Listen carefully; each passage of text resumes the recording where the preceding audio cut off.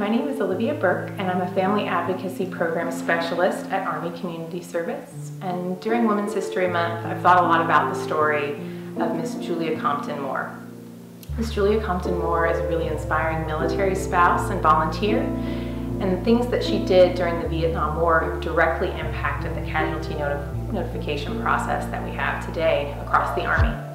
In those early days, the military actually notified families via cab driver and telegram. Mrs. Moore was noticing this happening in her own backyard amongst the spouses and partners of the folks in the battalion in which her husband served as commander.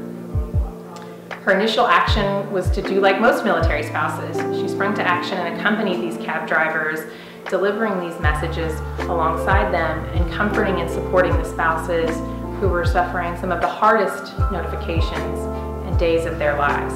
I think about how Miss Moore not only physically did the work of accompanying cab drivers and supporting the families in her formation, but she also took the time to talk with leadership about what needed to change.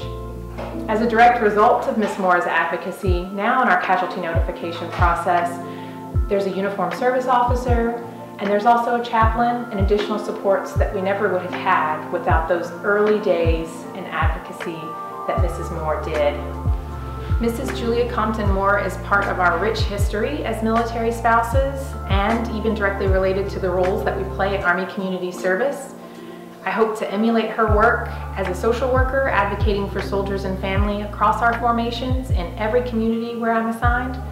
And in the future, I hope that we all take a bit of Miss Moore's advice and follow her lead by whenever we see a challenge in our community, we think about how things are working now and how we can use our time, our talents, and our treasure as spouses to advocate for change and directly implement that change in our community to improve the lives of our soldiers and families.